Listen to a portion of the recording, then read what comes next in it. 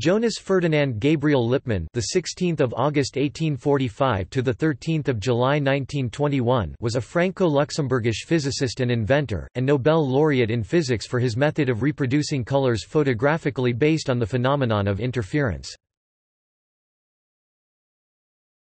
Topic: Early life and education. Gabriel Lippmann was born in Bonnevoie, Luxembourg Luxembourgish, Bouneweg, on 16 August 1845.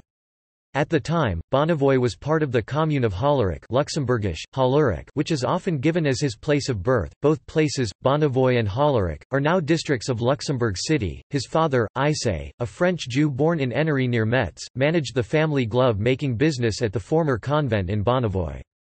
In 1848, the family moved to Paris where Lippmann was initially tutored by his mother, Miriam Rose Levy, before attending the Lycée Napoléon now Lycée Henri IV. He was said to have been a rather inattentive but thoughtful pupil with a special interest in mathematics. In 1868, he was admitted to the École Normale Supérieure in Paris where he failed the agrégation examination which would have enabled him to enter the teaching profession, preferring instead to study physics. In 1872, the French government sent him on a mission to Heidelberg University where he was able to specialize in electricity with the encouragement of Gustav Kirchhoff, receiving a doctorate with summa cum laude distinction in 1874. Lippmann then returned to Paris in 1875, where he continued to study until 1878, when he became professor of physics at the Sorbonne. Career Lippmann made several important contributions to various branches of physics over the years. The capillary electrometer One of Lippmann's early discoveries was the relationship between electrical and capillary phenomena which allowed him to develop a sensitive capillary electrometer, subsequently known as the Lippmann electrometer which was used in the first ECG machine. In a paper delivered to the Philosophical Society of Glasgow on 17 January 1883, John G. McKendrick described the apparatus as follows Lippmann's electrometer consists of a tube of ordinary glass, 1 meter long and 7 mm in diameter, open at both ends, and kept in the vertical position by a stout support. The lower end is drawn into a capillary point, until the diameter of the capillary is 0.005 of a millimeter. The tube is filled with mercury, and the capillary point is immersed in dilute sulfuric acid 1 to 6 of water in volume, and in the bottom of the vessel containing the acid there is a little more mercury. A platinum wire is put into connection with the mercury in each tube, and, finally, arrangements are made by which the capillary point can be seen with a microscope magnifying 250 diameters.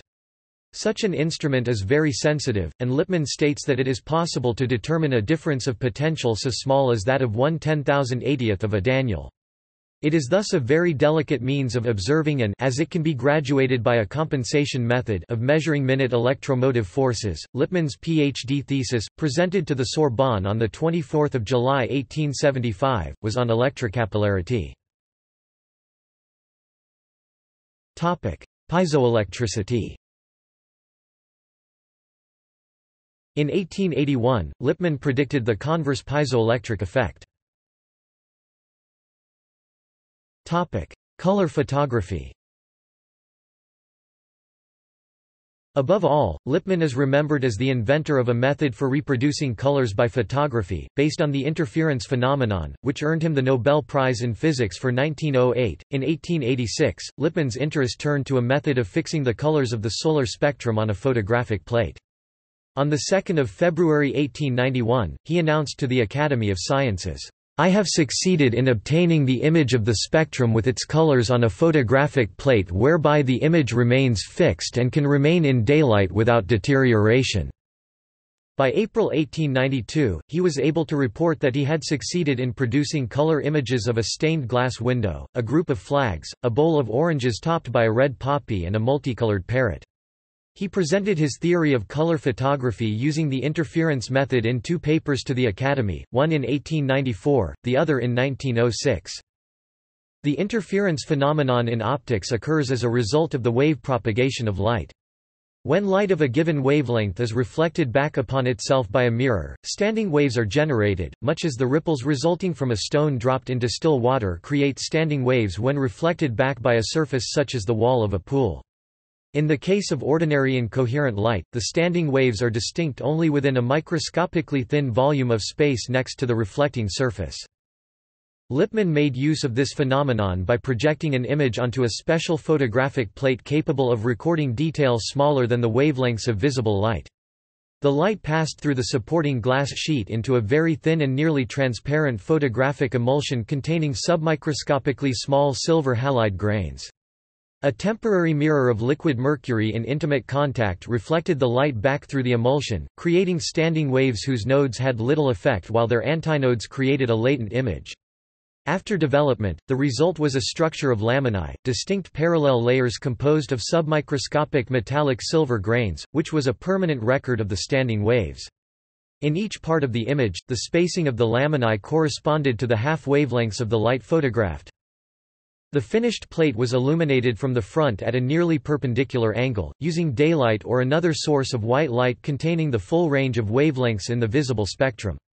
At each point on the plate, light of approximately the same wavelength as the light which had generated the laminae was strongly reflected back toward the viewer. Light of other wavelengths which was not absorbed or scattered by the silver grains simply passed through the emulsion, usually to be absorbed by a black anti-reflection coating applied to the back of the plate after it had been developed. The wavelengths, and therefore the colors, of the light which had formed the original image were thus reconstituted and a full color image was seen. In practice, the Lippmann process was not easy to use. Extremely fine-grained high-resolution photographic emulsions are inherently much less light-sensitive than ordinary emulsions, so long exposure times were required. With a lens of large aperture and a very brightly sunlit subject, a camera exposure of less than one minute was sometimes possible, but exposures measured in minutes were typical. Pure spectral colors reproduced brilliantly, but the ill-defined broad bands of wavelengths reflected by real-world objects could be problematic. The process did not produce color prints on paper and it proved impossible to make a good duplicate of a Lippmann color photograph by rephotographing it, so each image was unique. A very shallow angled prism was usually cemented to the front of the finished plate to deflect unwanted surface reflections, and this made plates of any substantial size impractical. The lighting and viewing arrangement required to see the colors to best effect precluded casual use. Although the special plates and a plate holder with a built-in mercury reservoir were commercially available for a few years circa 1900, even expert users found consistent good results elusive and the process never graduated from being a scientifically elegant laboratory curiosity. It did, however, stimulate interest in the further development of color photography. Lippmann's process foreshadowed laser holography, which is also based on recording standing waves in a photographic medium. Denisyuk reflection holograms, often referred to as Lippmann-Bragg holograms, have similar laminar structures that preferentially reflect certain wavelengths. In the case of actual multiple wavelength color holograms of this type, the color information is recorded and reproduced just as in the Lippmann process, except that the highly coherent laser light passing through the recording medium and reflected back from the subject generates the required distinct standing waves throughout a relatively large volume of space, eliminating the need for reflection to occur immediately adjacent to the recording medium. Unlike Lippmann color photography, however, the lasers, the subject and the recording medium must all be kept stable to within one quarter of a wavelength during the exposure in order for the standing waves to be recorded adequately or at all. Integral photography In 1908, Lippmann introduced integral photography, in which a plane array of closely spaced small lenses is used to photograph a scene, recording images of the scene as it appears from many slightly different horizontal and vertical locations. When the resulting images are rectified and viewed through a similar array of lenses, a single integrated image, composed of small portions of all the images, is seen by each eye. The position of the eye determines which parts of the small images it sees. The effect is that the visual geometry of the original scene is reconstructed, so that the limits of the array seem to be the edges of a window through which the scene appears life-size and in three dimensions, realistically exhibiting parallax and perspective shift with any change in the position of the observer. This principle of using numerous lenses or imaging apertures to record what was later termed a light field underlies the evolving technology of light field cameras and microscopes. Measurement of time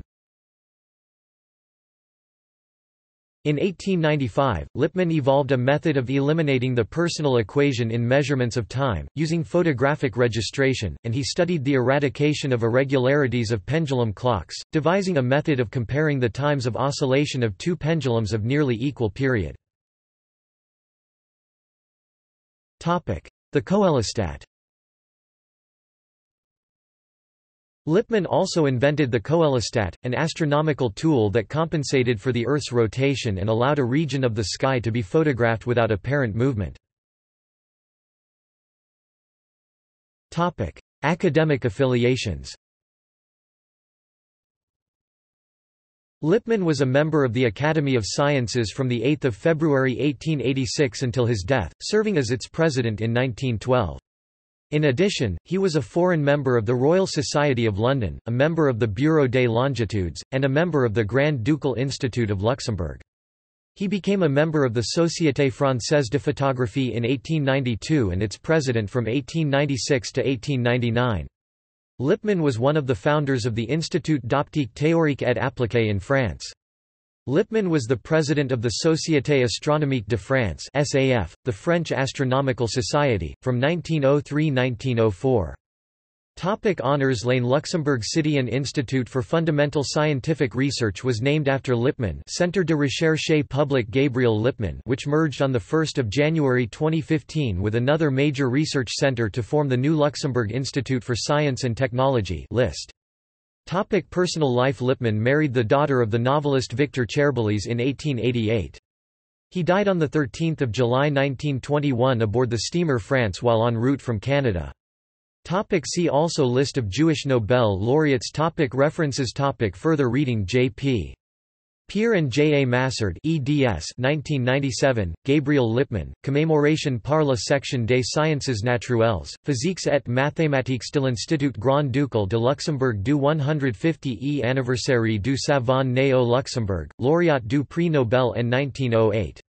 Luxembourg, Section des Sciences Naturelles, Physiques et Mathématiques de l'Institut Grand Ducal de Luxembourg en collaboration avec le Séminaire de mathématiques et le Séminaire de Histoire des Sciences et de la Médecine du Centre universitaire de Luxembourg, 139 p. Lebon, Ernest, Savants du jour, Biographie, Bibliographie analytique des écrits, comprenant Portrait de Gabriel Lippmann, 1911 p. 70, Gauthier Villars Paris, 1909–1913. Isabelle Burgonde, La Dagobert Optique, Editions Thierry Marchais, 2015. External links Nobel Foundation Gabriel Lippmann in Jewish Encyclopedia Centre de Recherche Publique, Gabriel Lippmann